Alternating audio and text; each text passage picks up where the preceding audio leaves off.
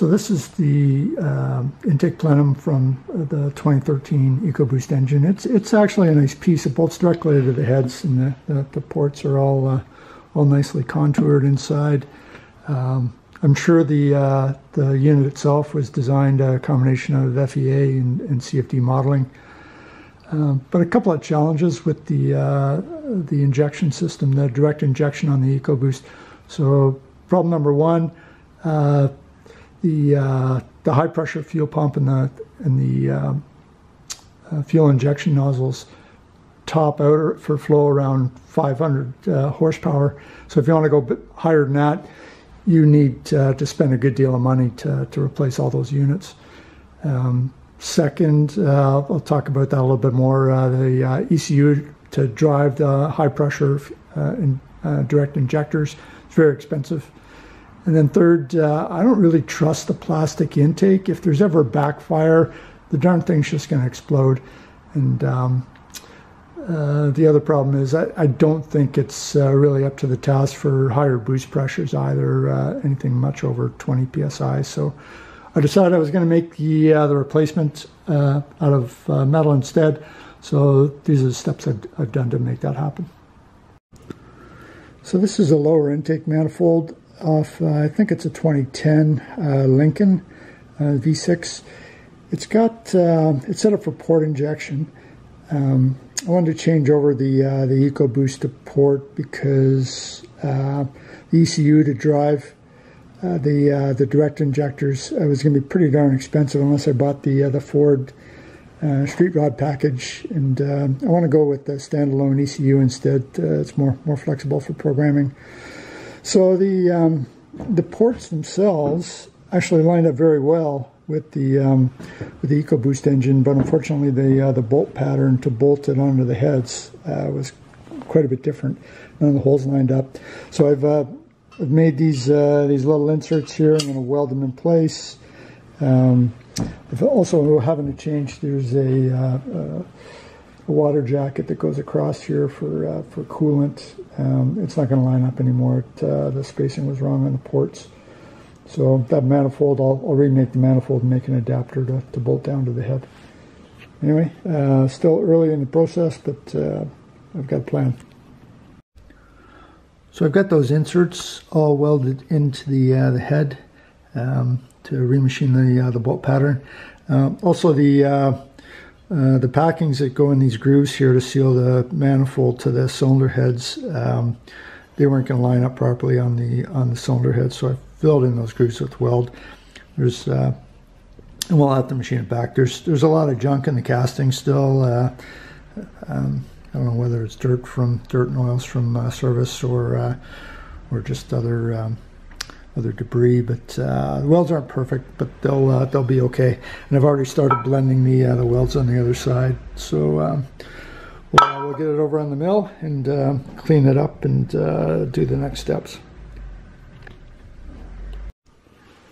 So we're getting closer. I've uh, milled the weld smooth on the, uh, made the surfaces flat on the lower intake manifold, uh, re-drilled the, uh, the bolt pattern, everything lined up fine. Uh, you can see down inside uh, the injectors uh, holes. I'm going to have to scallop out the um, the head on the EcoBoost engine to, to give clearance here for the injectors uh, so they spray into the port. Um, the ports themselves, um, can't see it very well here, but they uh, they line up very well. There's probably about 20 thou mismatch. I'll have to blend that out, but uh, it's overall things are going well. Um, I still got to weld a flange on here and uh, and make a uh, a flange for that uh, that portion of the, the coolant crossover. But uh, everything's coming along. So the lower manifold's pretty much finished. Uh, a couple more uh, holes to drill on top, but that's it. and I bead-blasted it to clean it up. it looks much better. for that crossover for the coolant system, I decided to just re-weld the uh, the existing uh, piece back on, but shifted the whole thing about three quarters of an inch. So everything lines up now. Uh, that's going to work good. Uh, I did uh, blend the ports open in the top of the manifold just to uh, to make them a little more uniform. And um, we've got the the fuel rail here from the the Lincoln engine. had to cut off the the, the back of it here. Um, I'll weld some AN fittings on there later, but uh, was going to inter yeah, the shape of it it was crossover here. It was going to interfere with the, the base plate for the plenum.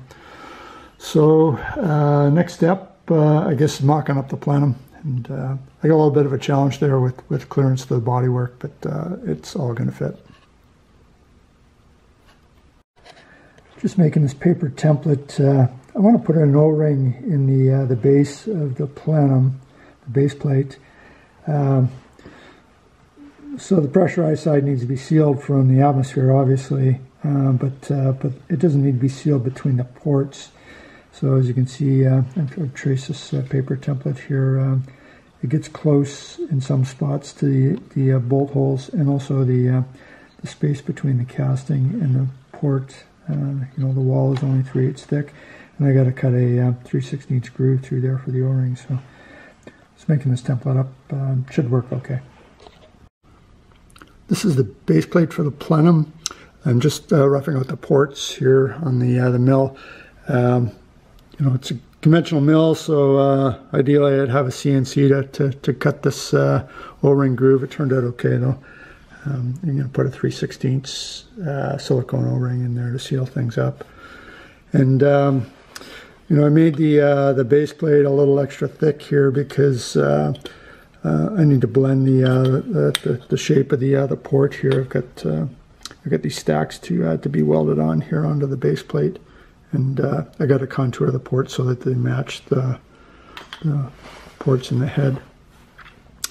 Also, I cut, it's a half inch thick, I cut a, I don't know if you can see that, I cut a rabbet groove in the, in the ends. That'll be for the, the sidewalls of the, the plenum and a little extra support so it's not just relying on the weld under pressure. So I have the runners all machined up. Um, these uh, these bell mouths here, um, just bought them off eBay. Uh, they came out of China. They're 10 bucks a piece. I don't know how they make them for that. They're they look like they're machined from precision machined from solid billet. Uh, anyway, the uh, the uh, the base plate's thick enough. Uh, I need to just blend it uh, so the contour transitions from round to, to the square port. The ports are pretty straight shot down into the, uh, the cylinder. You can see the valves, so it's, uh, it's going to be pretty good.